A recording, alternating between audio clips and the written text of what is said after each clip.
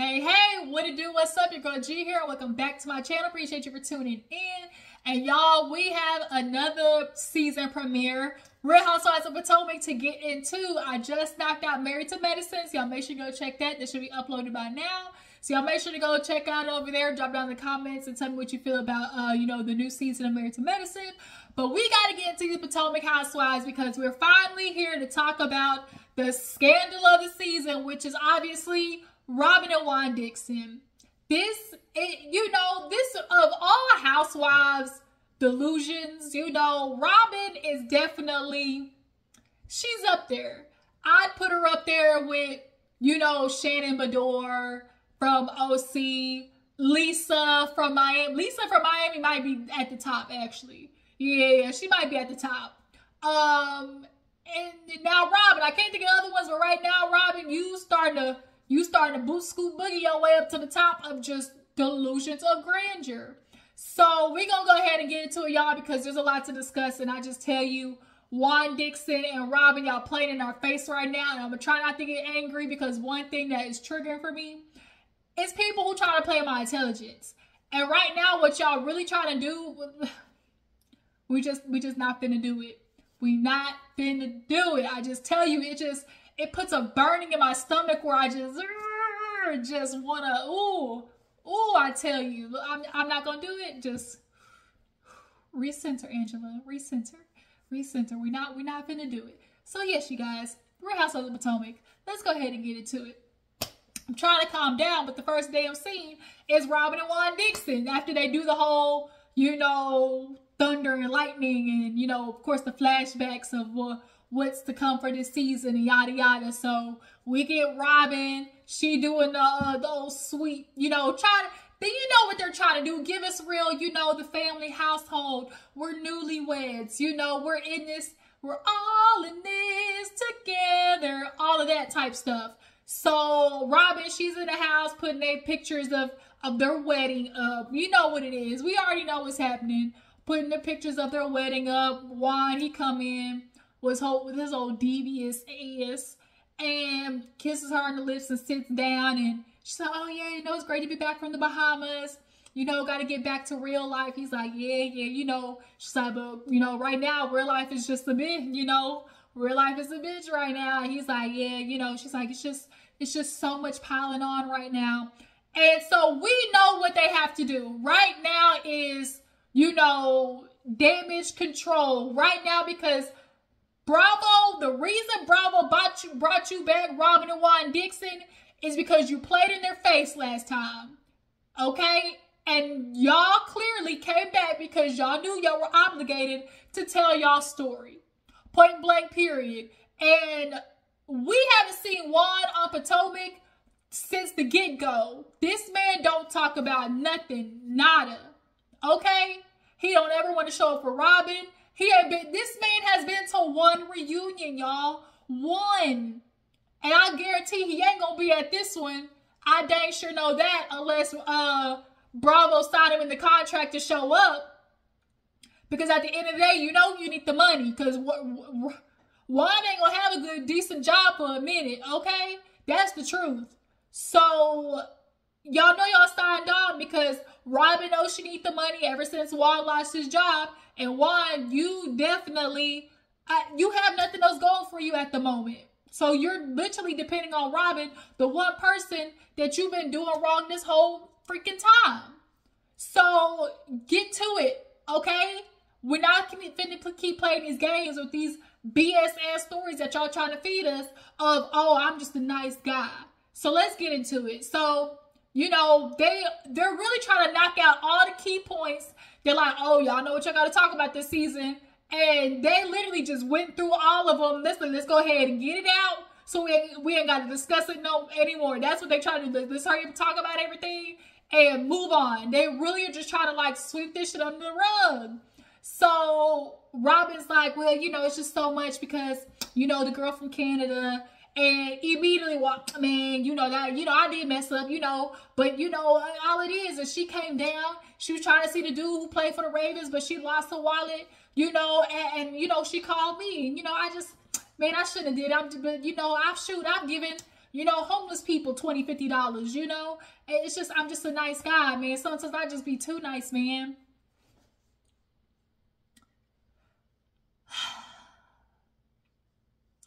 First question. If she's coming to see another nigga, why is she calling you one? Not only that, she's not coming to just see some regular Joe Schmo. She's coming to see a man that plays for the Ravens. But she calls you? Let's stop it. Stop it. Tweet, flag on the play. Let's not. So, one, it's like the. Ugh, the more we start seeing, well, I, I've been clocked Juan, point blank, period. But the more we just see how this stuff is playing out, you just see the characteristics of Juan, where you just realize this man is a coward. You're a coward, Juan, point blank, period. Because here it is, you're sitting here allowing Robyn to deal with the the the collateral damage of your mess, and you refuse to come forward and take accountability and acknowledge the mess that is created. And you want to put the shift the blame to everybody else except the person who's made the freaking mess which is you. So now it's oh you know uh she was like yeah you know i just wasn't expecting everybody to come for me the way they did you know after uh after the podcast. First of all robyn everybody came for you because you try to be real slick talking about oh the paywall. Y'all hear more stuff after the after the paywall. Pay for it on the podcast. Well, you know, good goddamn well, you wasn't gonna you weren't gonna tell no new story than the story that you literally telling right now. For one, and for two, you started catching heat because at the end of the day, this stuff came out knowing what you were doing to to, to Candiace. You know what you did to Candiace. And the thing that's really bothering me is, is Robyn is trying uh, trying to play dumb. When you watch people try to play stupid, when they know that you know that they know that you know that you trying to play them play play stupid. Like, girl, we see you. We see you trying to play stupid. But I can see it in your eyes that you know you're clocked. But it's like I'm just gonna stick to it. I'm gonna stick to the plan. I don't know nothing. I don't know nothing. And it's like, girl, is written all over your face. Okay. So, um, he's like, man, I told you not to do that. And she was like, well, you know, it's just so crazy. You know, um, he was like, uh, it's just, that's just the way the world is now. People just, they just so miserable. You know, it's all about clicks and likes and stuff like that.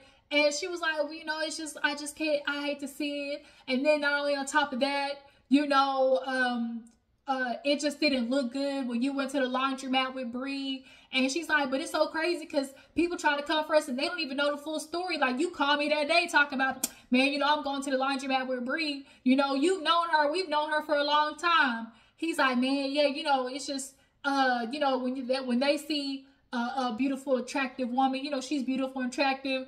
Robyn had to throw in there, yeah, people say she look like me. He was like, yeah, she's beautiful and attractive. And it was like, damn. so he's like, you know, I'm an attractive guy. She's an attractive guy. Like, you know, uh, of course, people's imagination's gonna go running.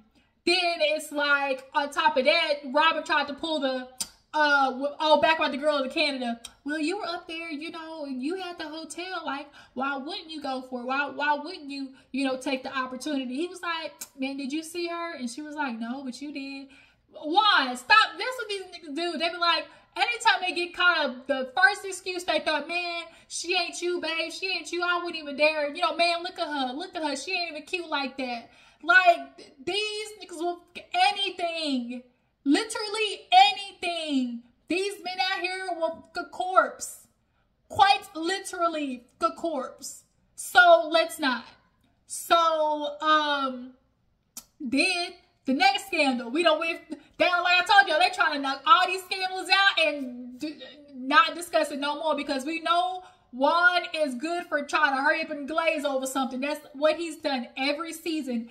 Anytime Robyn has brought up anything in regards to how he's treated her in the past, how it was to be in the relationship when he was playing ball, you know, the situation with the money being stolen, uh, the setup in the household, he does not like discussing their issues. He refuses to acknowledge what is going on in their household and he wants to glaze over it. So Robyn has no choice but to like glaze over it. And so Robyn, you want to hit us with the oh, well, you know, um, that's happened. You know, we worked through it. It was a year ago, and you know, we worked through it. Uh, and it's like, did y'all know? But did y'all work?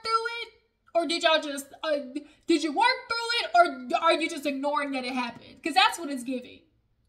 For real, for real. So then the next scandal, like I said, we went from Canada Girl to Laundromat. Now we got to get to uh to, to to the Coppin scandal. He's like, she's like, yeah, man, you know, on top of that, you know, you lost your job and that's devastating. He was a man, you know, it ain't devastating, but you know, it's hard. No, you dang right it's devastating. You lost yet another job and are depending on Robyn once again. Y'all have been struggling financially since the get-go, and ever since Robyn lost that money, she feels indebted to try and fix this with Juan. And she got the money back, clearly working for Housewives of Potomac and all that type of stuff like that. But now here it is. Juan is having to be, depend on Robyn financially to take care of stuff. And he's definitely going to resent her for that fact. Um, and so she's like, yeah, you know, uh, people it just they just seem to take joy in you know you losing your job and, and it's like no people aren't taking just joy in him losing his job but at the end of the day like he got busted off of something that was dead ass wrong. Like dead wrong for real for real. Um and so of course you know people they miserable they want clicks and likes and man we just we we not even gonna give it no energy you know it's on them.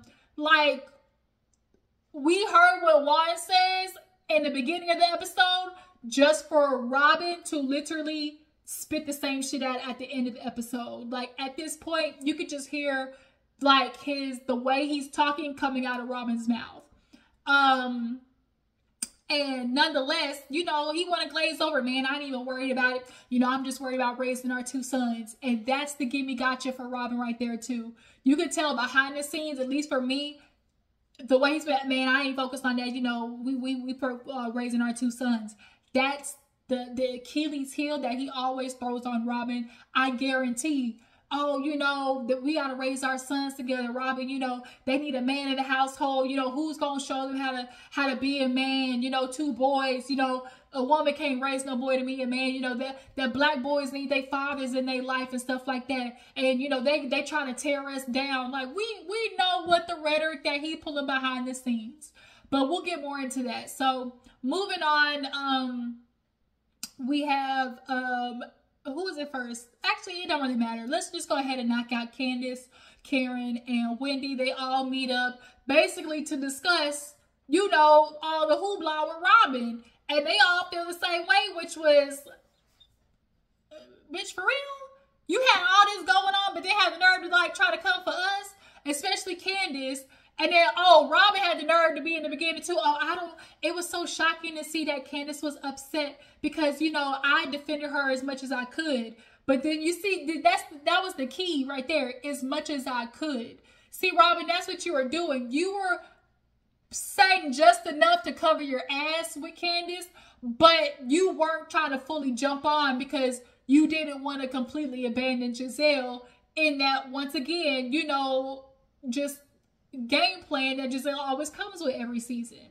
So Candiace, of course, is talking to Karen and Wendy like, I'm really pissed off because I really felt like Robyn was somebody I was building a relationship to which we say again to you, Candiace, why the you keep trying to build a relationship with Robyn? Robyn and Gizelle? And it's like she wants, it's, she seems to keep trying to have this attraction to wanting to be okay with them and good with them and make and be friends with them.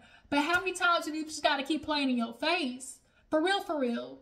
I think she's good with Robyn for the most part, you know, outside of Gizelle, because when Robyn isn't with Gizelle, a lot of people like we like Robyn outside of Gizelle. But the problem is she she's a follower. Robyn is a follower, okay? Um So of course Karen is like, yeah, you know, it was on some BS. You would have come for me, and girl, you ain't even being 100 percent honest. and so they start asking in the confessional, uh, Wendy, do you think Karen's 100 percent honest about her relationship? She like, next question. I mean, Karen, are you 100 percent honest with your relationship? Hell nah. Um, but our okay, the expectation is not to be oh, you just got to give up all of your life completely, you know, just be completely 100% honest, you know, with, you know, eh, with, with TV. We understand there are some things you keep for yourself, but at the gist of everything, reality TV is supposed to be based on the reality of what's going on in your life. And something as big as that, Robyn, especially with it being so public, you knew it had to be addressed. You knew it did. But like I said, you're trying to glaze past it because you want to protect Juan. Oh, his make sure his boys, you know, see a good father figure. It's always on the women to make sure their husband looks good for their kids. And the shit is getting old. Um so yeah, um basically Robyn, Wendy, and Candiace was just kind of like, man, we gonna have to light Robyn up because she really came to us with the, it was all a scheme that Robyn set up to come with us with the bush, okay? So then we see Ashley. She at the her, you know, two point two million dollar mansion. Uh, you know, five five bedroom, four bath with her sons. And you know, she said, you know, it's just so hard. You know, I'm just, you know, being a single mother and you know, just doing it all on my own. And then they and then they flash to the nanny. She's like, well, me and Daisy, of course. And so we see the boys over there like on the counter and whatnot she goes outside um, and she talks, she calls Gizelle basically to talk about everything. And Gizelle's like, girl, but did I see you in the Bahamas with Michael? And she was like, maybe, maybe not. You know, she's like, we're basically just good, you know, for the boys, essentially. So then Ashley reveals that, you know, on the house, you know, Michael's name is still on the mortgage. And she's like, you know, I, you know, I might not be in a rush to to remove his name, you know. uh, I, I, I'm dragging my feet because at the end of the day, like that's security.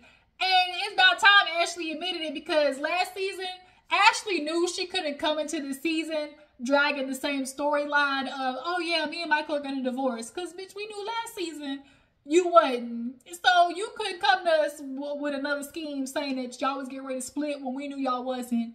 Cause that's why you got this house. You admitted that the minute you admitted that Michael helped you buy this house, the, it was all it was all done. So yeah, so she was like, so what, what what happened? And she was like, basically, you know, he his name is on the mortgage, he helps pay for it, and it's not alimony, but he sends, you know, child support. And at this point, you know, Ashley, she she thought she had the game sold up when when but girl, you didn't read the fine print. It's given she didn't read the fine print of that contract did you have a lawyer read over the contract before you signed it? Because it's giving you didn't.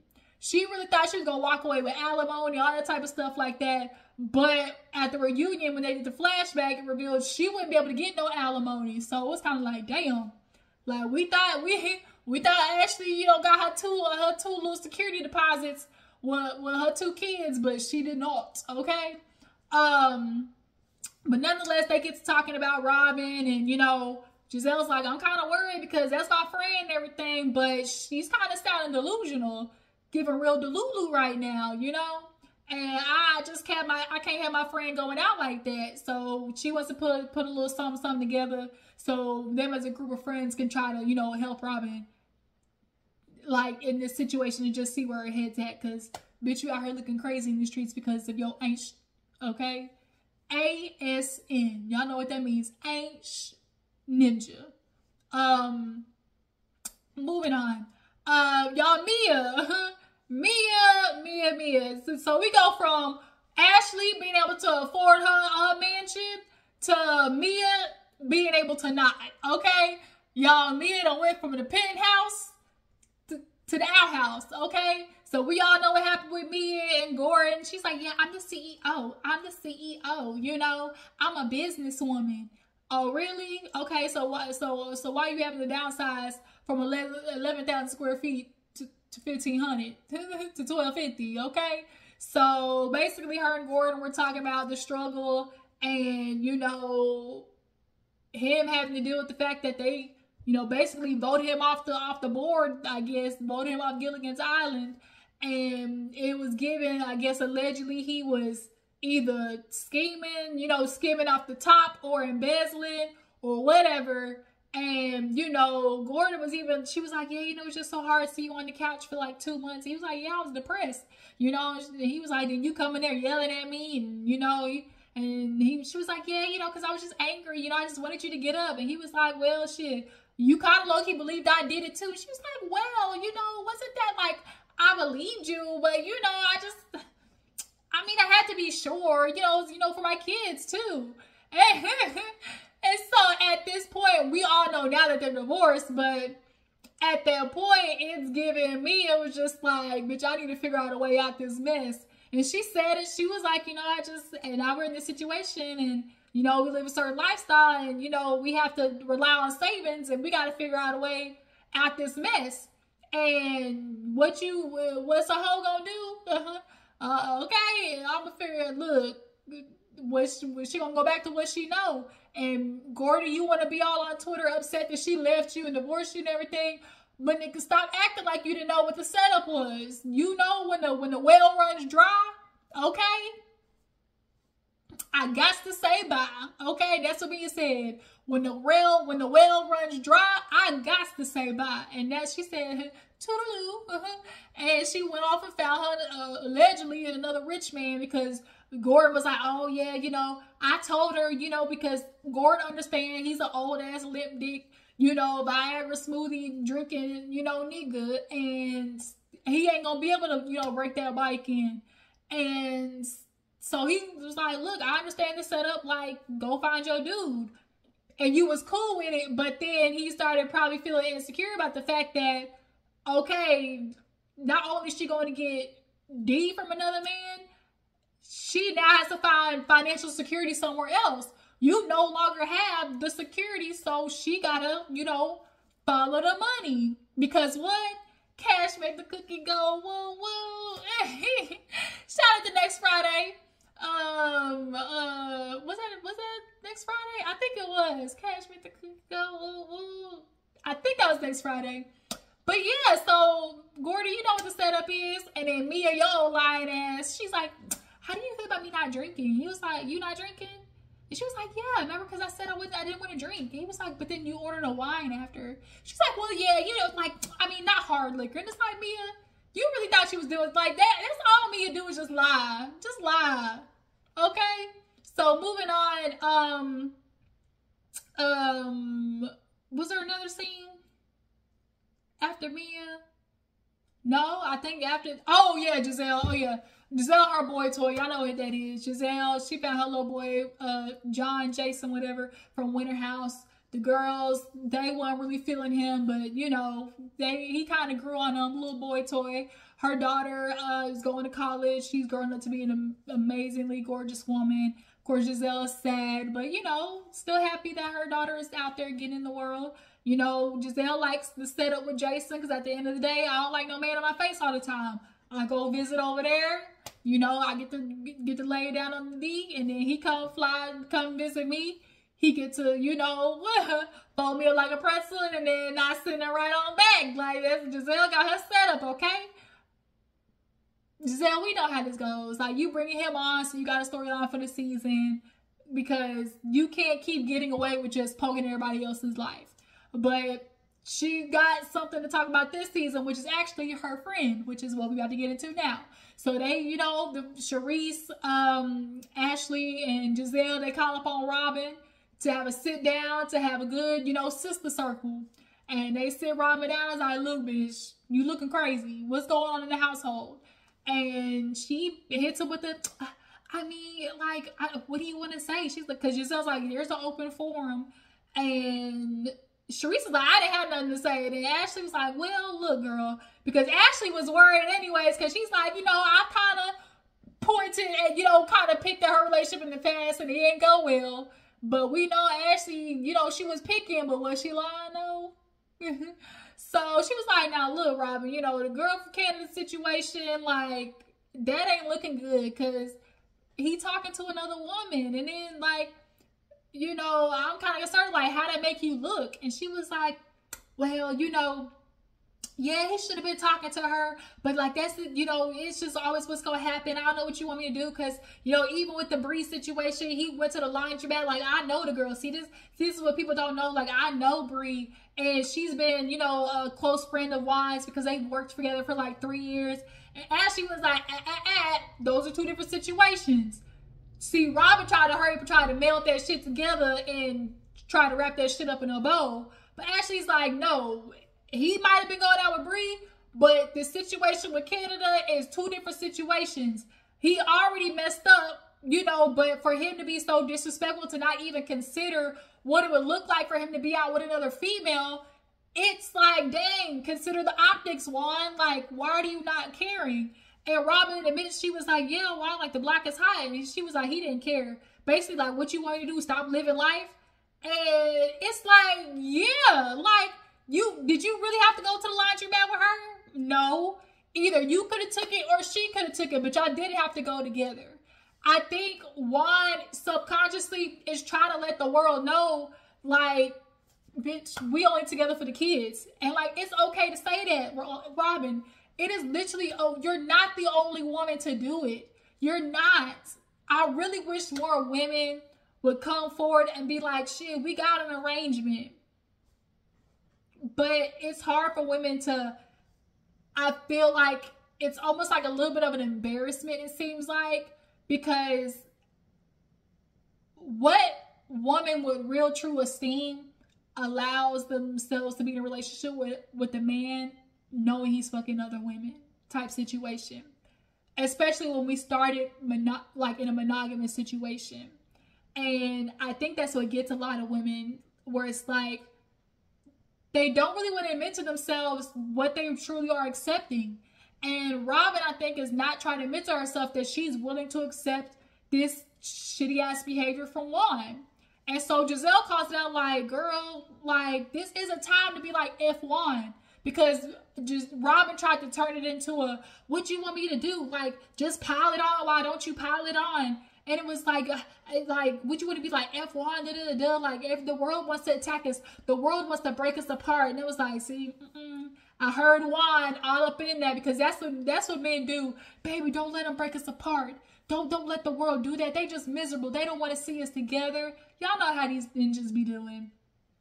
Don't let them break us apart. It's me and you, babe. Like for the boys, like let's raise our boys together. But we know from previous seasons when that hot mic situation happened, Juan quite literally said, Man, I would not be in this if it wasn't for my sons. So we know what's going on. But Robyn wants to, she's so committed to trying to have this picture. Like, we worked through it, we good. But the problem is, Robyn, you're talking to other women who have done the same thing, quite literally. You're not talking to single women. That's the like or to women who haven't been married. That's the thing. You know, it's different when you're talking to just single women, never married without kids. And so a lot of people be like, oh man, they can't say nothing, you know. But you're talking to women who quite literally have done the same thing that you're doing.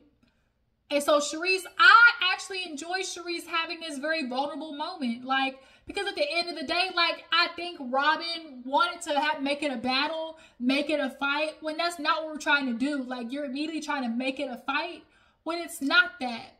Like have a real vulnerable moment where it's like, dang, like I'm pissed off that he's got me in this situation. And Charrisse is like, you know, I feel for you because it's like I know what that looks like. I dealt with it in my relationship. I made a thousand and one excuses and you know, he would say things and, you know, of course they did the flashback and it's like, but deep down, I knew. Like women deep down know, but they don't want to look for the confirmation. She was like, I made up so many lies and, you know, I I don't want to say like, you know, your relationship is mine, but like I see the delusion that sometimes we create for ourselves. so Robyn's like, what you think I'm in denial? And she's like, yeah. She was like, in New York, it kind of like when you did watch Happens Live, it's kind of given denial. And of course, they did the flashback when Andy asked, "So, Robyn, did you check the DM?" She was like, "No, like, well, I, I didn't need to look. You know, I just trusted what Walt Juan told me." What? The man lied and and said that he didn't go go to the hotel. The man lied and said that he didn't help her. So if he's lying right there, what makes you think he's telling the truth about? Like what? What? And then they called it out. And they were like, well, Robyn, he talked to girls. She's like, well, yeah, yeah, he should he should have been talking to her. You know, he messed up right there. Like you try to keep breeze breezing past it. Like you can't do that, Robyn. Or like it's you can't do that and then expect other people to. That's the thing. Like people who are who are in very emotionally abusive relationships, because we're gonna call it what it is. To me, it seems like a very emotionally, mentally, a mental and emotional tormenting relationship. Um, and so she's like, oh, you know, what do you want me to do? Like I told him, you know, get out. And, and we worked through, like we worked through. What you want me to do? Mad? That was three weeks ago. I told him to get out, and you know, it would. And just I was like, whoa, whoa, whoa, like she tried to breeze past it, like she didn't have a a, a, a time frame where she was pissed off. Like she kept like that's what her like she's trying to breeze past it. And Gizelle's like, wait a minute, did he get out? She was like, well, no. Because the last time that's what happened when they got divorced, they just stayed in the household. And he went off and philandered, but she she just stayed at home with the boys. So it's like, this is what Robyn is used to. And Gizelle's trying to let her know, girl, that Robyn then is not that Robyn now. Like, you're strong enough to walk away from this. But here's the truth. Robyn, one, is not going to walk away right now because she feels indebted to helping Juan out because that is the father of her kids. So because he has lost his job and ain't got no money, she feels indebted to helping him out because that's how the relationship started. He joined their family because of like what was going on in his family situation and when they were younger. He like was somebody that her parents took in. Two, this is the only man she literally knows since she was 17 years old. This is the only man she knows. Okay? Two, we don't know what type of shit that Juan is telling her behind the scenes that could be like that could be like demeaning her self esteem. He we could he could be telling her all types of shit like, oh, ain't no man gonna take you. You got two kids. Like we don't know what he's saying to her, you know. And three, it's also another thing too. Like you don't want to prove the public right. She's kind of got that Tisha from Love and Marriage Huntsville thing going on where you don't want to put, prove the public right.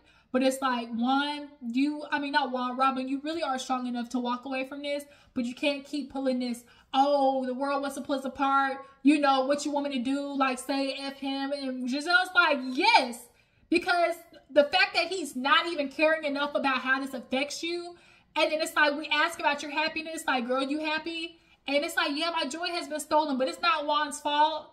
And they all look at each other like, bitch, who, who else? Like Gizelle said, bitch, it's one name in the center of all this. Juan. So who do you mean, like, who else is stealing your joy? Wouldn't none of this be happening if it wasn't for Juan? Like, when you watch, it's so hard because I'm that person right now with somebody that I know. Where you're the outside point of view and you can see it clear as day what is happening in the relationship. And every now and again, you'll watch the person kind of pop out of the delusion but then they get sucked right back in it and it's like you can't it's so hard. Nobody talks about how hard it is to watch from an outside perspective watching somebody be in a very toxic unhealthy relationship. And it's very triggering for me honestly because it's like damn you want to help this person but they gotta want to help themselves but yeah, you guys, that's Real Housewives of Potomac. This went out a little longer than I wanted to. But y'all tell me how you feel about the season. How y'all feel about Ashley not divorcing from Michael, you know, to get the money. Mia deciding to leave Gordon because he ain't got no money. And how do you guys feel about Robyn and Juan Dixon coming back and not telling the story, but not really telling the story? I appreciate you for tuning in. Y'all make sure to follow me on Instagram and Twitter. And to catch you guys later.